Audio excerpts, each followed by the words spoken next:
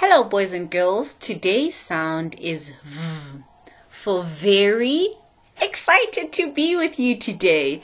Let us go to Letterland and see which character makes the sound V.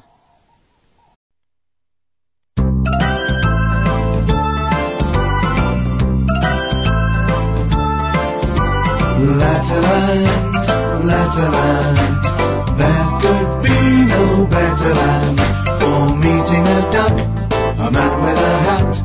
an orange or two, and a clever old cat. So let's go to Letterland, Letterland, Letterland. Walter Walrus Wetterland meets slithering Sam, a king who can kick, a quarrelsome queen, or meet noisy Nick. So let's go to Letterland, let's go to Letterland today.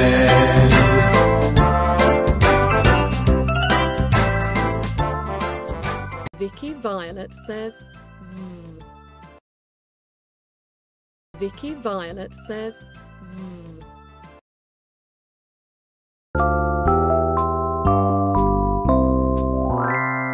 Vicky's vase of violets lovely vase of violets. The sound they make in words is. The sound they make in words is v. Vicky's vase of violets. Lovely vase of violets.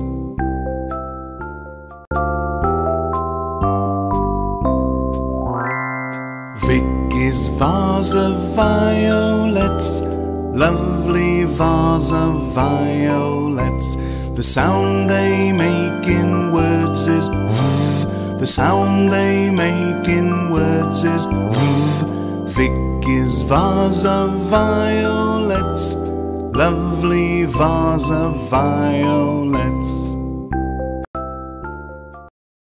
That was such a nice song for Vicky Violet. So now we're going to learn how to write the letter V. Put your finger on the green dot, diagonal line down, diagonal line up. So simple. One more time. Finger on the green dot, diagonal line down, diagonal line up, and stop at the red dot. Now let's go and hear what Mrs. Reed has for us today. Vicky Violet loves flowers, especially violets, because they have lovely velvet leaves and petals. Vicky's violets are very special too because they have faces and they talk. Can you guess what they say? They make the v sound at the start of Vicky Violet's name. Vicky keeps these violets in a very big, very valuable vase where they have grown roots so they can go on living there. Vicky lives in a village in the Letterland Valley where they grow lots of vegetables as well as flowers. How many different vegetables can you see in this picture? Can you see a very big bird? That's Vernon Vulture. What is that in his beak? Perhaps it's a Valentine card for Vicky Violet.